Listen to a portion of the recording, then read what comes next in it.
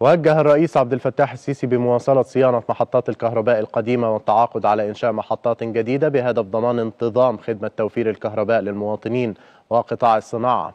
شدد الرئيس خلال اجتماعه مع الدكتور محمد شاكر وزير الكهرباء بالجهد المبذول على صعيد النهوض بقطاع الكهرباء في مصر وتوفير الخدمة بشكل منتظم للمواطنين على الرغم من زيادة الأحمال بالتزامن مع موجة الطقس الحارة التي تشهدها البلاد.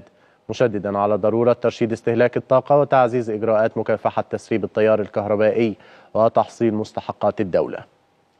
من جانبه أكد شاكر أن حجم الاستهلاك تخطى في أوقات الذروة خلال شهر أغسطس 29 ألف ميجا وات بزيادة 5 ألاف ميجا وات عن المتوقع مشيرا إلى أن الوزارة بصدد الانتهاء من خطوات الخطة العاجلة لتوفير الطاقة الكهربائية وذلك مع حلول نهاية أغسطس الجاري.